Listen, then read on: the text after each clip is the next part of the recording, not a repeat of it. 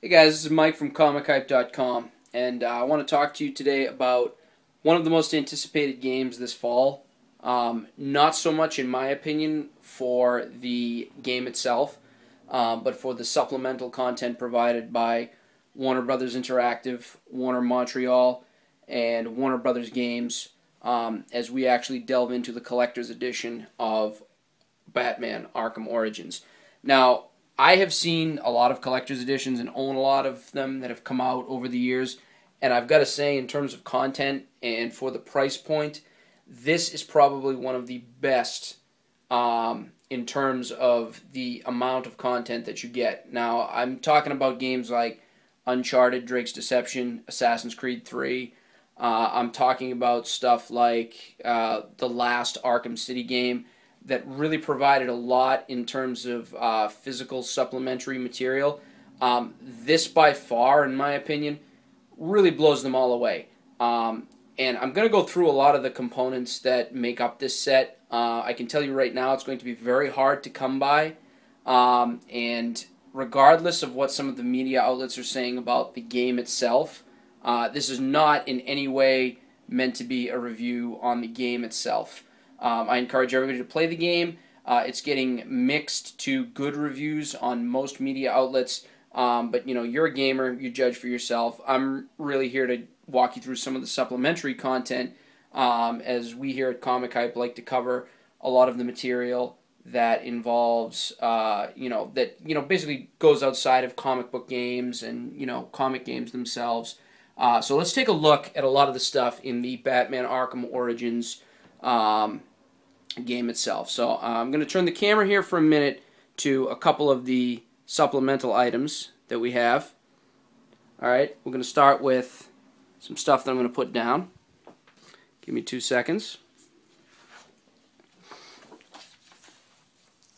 Alright, so one of the things that Arkham City really has going for it is its um, excess of supplemental print material, um, almost like prop replicas from the game. Um, so what we got to start with, we've got uh, one of the Batman's big villains in the game will be the villain Anarchy. And we've got a stencil cutout of Anarchy symbol there. You will probably go spray paint that somewhere on your local wall in your neighborhood. Uh, we've got a schematic of the bat plane. And we've got a very detailed Batman Wanted poster, which is quite cool. Uh, on top of that, We've got a picture of young Bruce and his family. Try to get the flash off there for a minute. That's really cool. Um, we actually have a glow-in-the-dark map of Gotham City from Anarchy.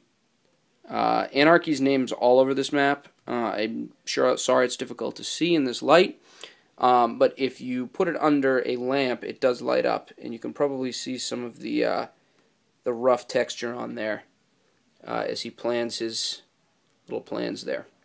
Uh, on top of that, we've got two pieces of downloadable content. One is the first appearance Batman skin from way back in the 1940s when he actually carried guns, for people that remember that. And this came standard with the regular edition of the game. It's the game download content for the Deathstroke Challenge Pack. Now, Deathstroke is a major villain in the game. Um, the premise behind the game, for those of you that haven't heard, is that Black Mask puts a bounty on Batman's head, and all these uh, assassins, such as Deathstroke, Deadshot, uh, you know, any most villains in the Batman universe. Uh, again, this is a prequel come out to go after Batman. Um, on top of that, we get some great stuff like I'll hold this up here. It's a final final offer poker chip, $10,000 in a Gotham PD evidence package. Uh, something from the Black Mask's business endeavors. All right, we got one of those, and we've got a uh, a tooth piece of evidence from there. And uh, you know, you can speculate where that comes from. I personally think it's from the Killer Croc, uh, but uh, it's got some uh, it's pretty good detail paid to you know the Batman and you know universe and the mythos in terms of video games. If uh, if you've been following these two games from uh, Arkham Asylum and Arkham City, uh, and then we've also got the game itself. Uh, if you're playing on the PlayStation, you get a Nightfall Batman skin, classic TV series Batman skin, and five challenge maps, and you get the Nightfall pack, which is included for the PS3. I believe the uh, classic TV series Batman skin is available only for the PS3. Um, the two pieces of downloadable content, like I said, one for the uh, regular buyers of the game who did not get the collector's edition, and then the other one for people who bought the collector's edition.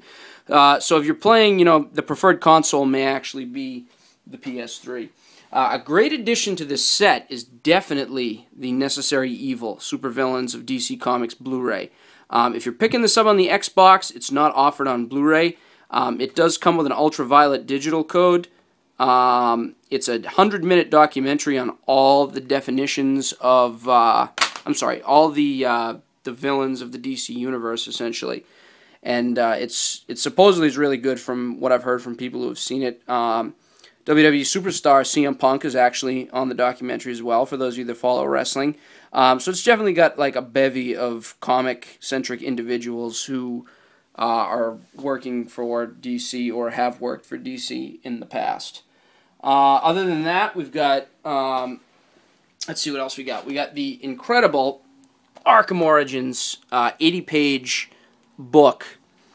Um, this is probably the standout of the set. And, you know, I've got really a thing for art books, but, you know, this delves into a lot of the creation of the, um, the game itself. It's got uh, a lot of the modeling and the characters, as you can see as I'm flipping through it. Um, you know, so every every villain pretty much is in this game. I think in in one way or another. Um, you know, even look, you got even a you know some words from Geoff Johns, um, creative chief creative officer over at DC. Um, you've got like you know everything, including people who worked on it at DC Montreal. So again, what I'm trying to tell you is that like this this set is really a very comprehensive look at like not only the creation of a video game but also a comic book character as well. Um, I think that it it really you know sets the boundary for what like a collector's edition can be for the price. And when I'm talking manufacturer's retail price, I'm saying about $120. Uh, I think it's it's really well done. Um, I think it's incredible. Uh, as I close this up, uh, it, it's it's really a great set. On top of all that, you get this dossier of uh, from the Black Mask. It's got a wanted poster and stuff. Um, you know, I'm running out of time uh, for what I can upload. Uh, but this is, you know, this again is a is a great set. Um, as you look over everything as I stand up. And before I go, one last thing which I haven't gotten to yet, but you got to check out, is the uh, the Joker statue, um, which seems to be the hot item in this set. It's about six pounds. Uh, it's in the box right now. Uh, he'll be coming out later. He's got fully functional LED lights behind him uh, as I look in the box that basically light up every one of Batman's villains. It's, it's basically a, a screen of everyone that's working to take out Batman and Batman himself. Uh, again, uh, I, I can't say enough good things about this collector set.